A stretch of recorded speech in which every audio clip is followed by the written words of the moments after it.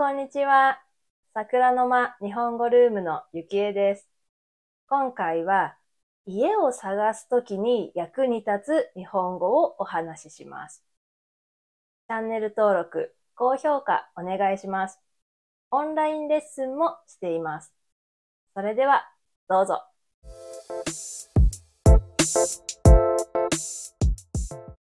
間取り、間取り。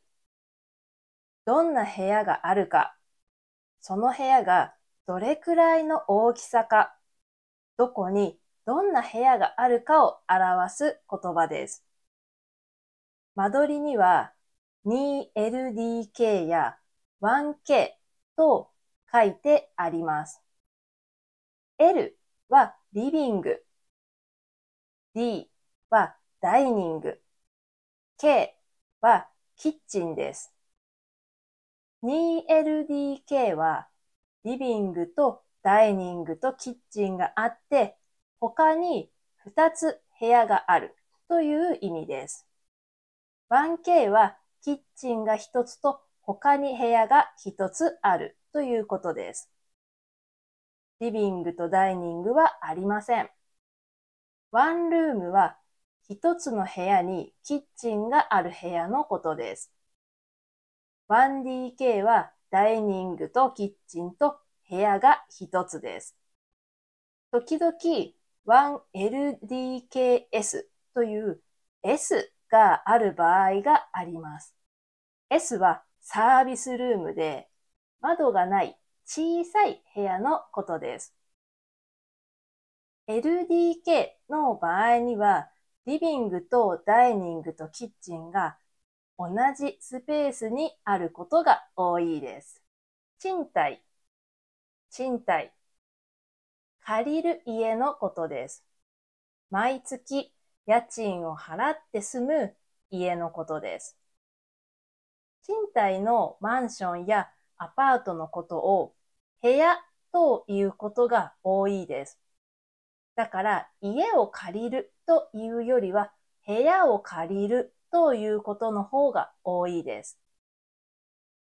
マンション、マンション。人が住む高いビルのことです。アパート、アパート。人が住む小さい低いビルのことです。日本はマンションが高くてアパートが低いです。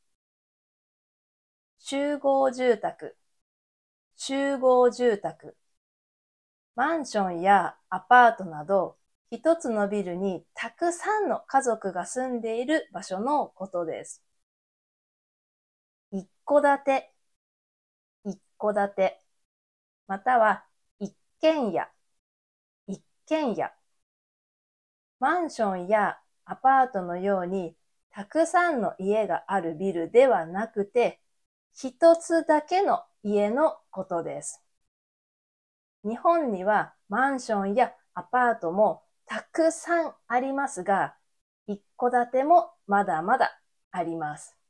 東京は土地が少なくなっているので、マンションやアパートの方が増えています。家賃、家賃。借りた家の大家さんに毎月払うお金です。大家、大家。賃貸を管理する人のことです。何か賃貸で問題があった時には、大家さんに話をして解決してもらいます。そして家賃も大家さんに払います。物件、物件。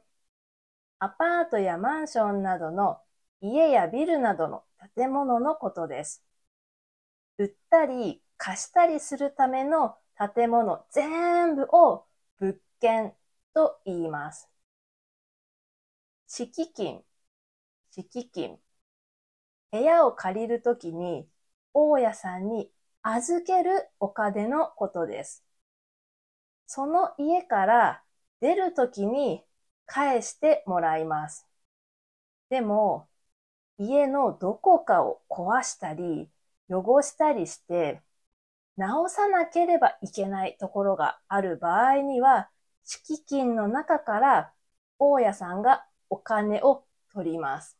そして、その残ったお金を返してくれます。だから、賃貸に住むときには、部屋を壊したり、汚したりしないようにすると、最初に預けたお金が全部返ってきます。礼金、礼金。大家さんにあげるお礼のお金のことです。このお金はお礼のためにあげますので、お金は返ってきません。敷金、礼金はヶ月分、2ヶ月分と書いてあります。1ヶ月分は家賃1ヶ月のお金が敷金、礼金です。2ヶ月分と書いてあったら、家賃2ヶ月分を大家さんにあげなければいけません。敷金2ヶ月、礼金2ヶ月の場合は、最初に入るときに、敷金と礼金と合わせて家賃4ヶ月分のお金を払うことになります。最寄り駅、最寄り駅。そこから一番近い駅のことです。最寄り駅から徒歩何分と書いてあることが多いです。入居、入居。その家に住み始めることです。入居日は6月上旬可能。6月上旬に住み始めることができますという意味です。日当たり、日当たり。